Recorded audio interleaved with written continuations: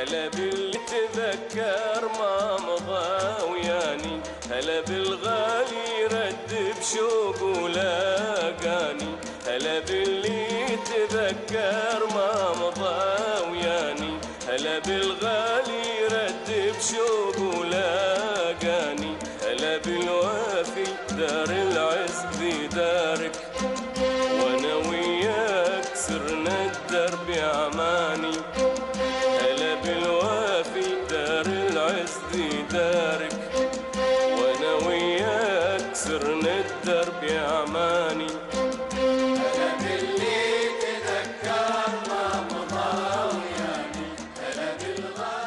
كأس الخليج عام 86 كانت البداية وتم اختياري عن طريق المدرب آه، كليمنت البرازيلي.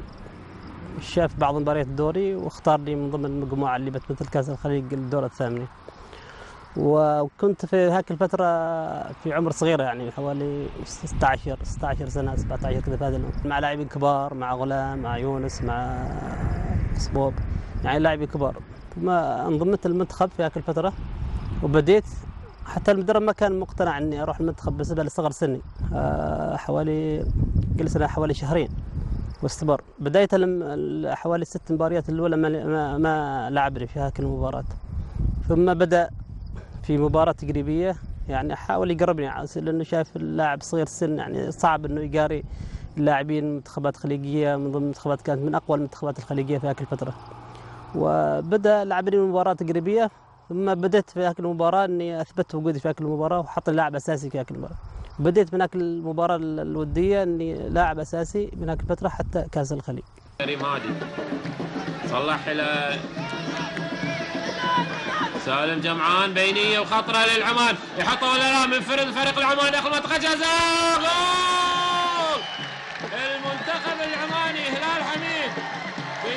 بينفرد بحارس المرمى داخل منطقة الجزاء. الدقيقة 36 الدقيقة 36 هلال حميد بينفرد بحارس المرمى. العراقي بيحط هدف التعادل. هدف التعادل. شوفه بالعادة. لما حصل له كرة بينية تقدم داخل منطقة جزاء ولعبها على يسار أحمد علي اللي ما قدر يسوي له شيء. شوف شوف بالبطيء اللعب بكل انتقام لهلال حميد هلال حميد بيتقدم داخل منطقة الجزاء بيلعبها على يسار أحمد علي البداية عند تم اختياري كان خطأ يعني اختير اسم لاعب ثاني. و... وراح طبعا اللاعب اللي. المنتخب راح بدل ما- طبعا ما بداية المعسكر ما رحت. ثم بدأ المعسكر فتفاجأ بمدرب باللاعب اللي تم اختياره يعني مش ضمن الاسم اللي هو اختاره. اللاعب طبعا هو ضمن المنتخب. المدرب قال لا يمنع أنه يمثل المنتخب. شوف بدأ في الإعدادات ثم استبعد وتم استدعائي قبل ما أروح البرازيل بحوالي يعني يومين كذا. وكان في طبعا معارضة من الأهل لأنه طبعا لاعب صغير في السن وكنت بدايه في الد- في الدراسة وكانت معارضة شديدة طبعا. وحتى ما كان إدارة النادي ما كانت متقبلة إني أنا أروح إلى المنتخب في هذيك الفترة في هذاك السن. بس إصرار الاتحاد العماني وإصرار المدرب إني أكون موجود مع المنتخب. يعني وإذ- اضطريت إني طبعا أذهب للمنتخب آه، المعسكر البرازيل. ذهبنا المعسكر البرازيل وتم اختيار المنتخب من ذاك الفترة.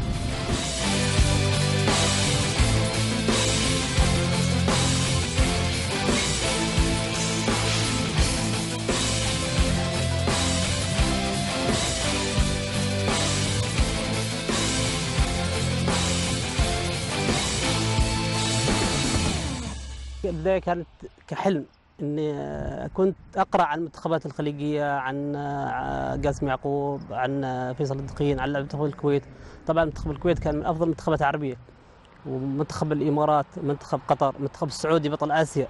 يعني كنت نقرأ عنها ونشوف في الإعلام ال- طبعا الإعلام في التلفزيون. كان حلم إنك توصل للمنتخبات هذه عن كيف تلعب أمامهم. ثم اختيار المنتخب وصلنا إلى ضمن منتخب يعني يعني بداية إني ما كنت مصدق إني بلعب أمام فيصل الدخيل أمام عبد العزيز العنبري أمام آه، ماجد عبد الله فهد الهريفي الثنيان عدنان الطلياني فهد خميس يعني كان ما كنت كنت أحلم يعني حتى العب ضدهم. والحمد لله توفقت ولعبت أمامهم. يعني المنتخبات الخليجية بصفة عامة كانت الفترة ال- في 86 كانت من أقوى المنتخبات في آسيا. يعني كان المنتخب في هذيك الفترة المنتخب كان يعني من أفضل النجوم الموجودين في عمان. يعني كان المنتخب العماني بيقاري المنتخبات اللي كان قرد أخطاء بسيطة اللي بتحدث الأهداف اللي يعني لو المنتخب يمتلك يعني لا يعني إعداد كويس وكان حالة نفسية. يعني أنا كلاعب عماني لاعب صغير في السن يعني العب أمام النجوم هذه يعني أدخل الملعب إني متخوف إني بنهزم. حتى ما كانت ثقافة الفوز أو فكرة الفوز إنها كانت موجودة على المنتخب يعني قلة الاحتكاك قلة المباريات. بس الإعداد اللي كان في البرازيل كان إعداد جيد وإعداد ممتاز. لعبنا أمام منتخبات قوية أمام انديه قوية. حتى حقق نتائج أفضل من المنتخب الاماراتي اللي كان موجود. بس كأس الخليج كان عقدة عند اللاعبين العماني سابقا إنه يعني شايفين المنتخب المنتخبات الخليجيه إنهم أقوى وأفضل.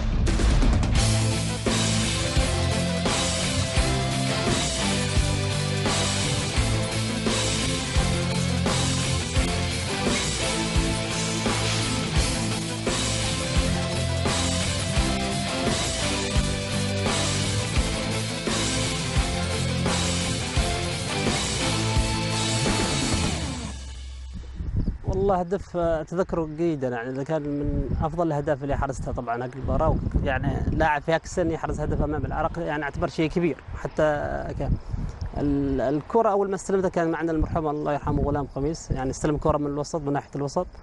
ثم آه، كانت ال- الزاوية يعني الجهة اليمين كانت فارغة. فناديت الله يرحمه غلام أعطاني الكرة في هذه الفترة وأنا أستطعت أن أمشي بالكرة إلى الأمام. ثم كان الحارس في اتجاه إنه يعني أنا كنت راكض على أساس إني أشوت الكره لكن الحارس العراقي عندما شت مال اتجاه الكرة على أساس إني بعكسها واحرز الهدف هذه الفترة ضد الكرة براسه كريم هادي يصلح على عماد جاسم. لكن تنقطع لغلام خميس. غلام خميس المنتخب العماني. يحاول يمر يلعب اليمين ناحية سعيد فرج. سعيد فرج داخل منطقة جزاء.